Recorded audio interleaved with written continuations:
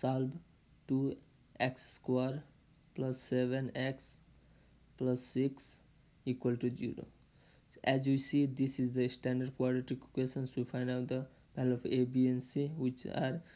a is equal to 2 b is equal to 7 and c is equal to 6 now using quadratic formula x is equal to negative b plus minus square root b square minus 4ac over 2a now substituting the value of a b and c in this equation we get x is equal to negative 7 plus minus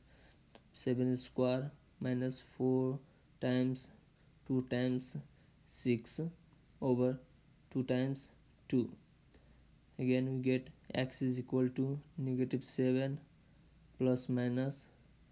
square root. 7 square is 49 minus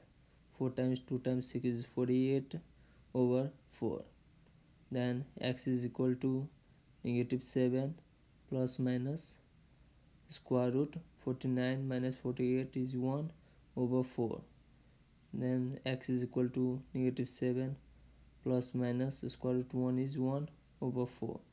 now we can split this into two parts. x is equal to negative 7 plus 1 over 4 or x is equal to negative 7 minus 1 over 4 now is solving.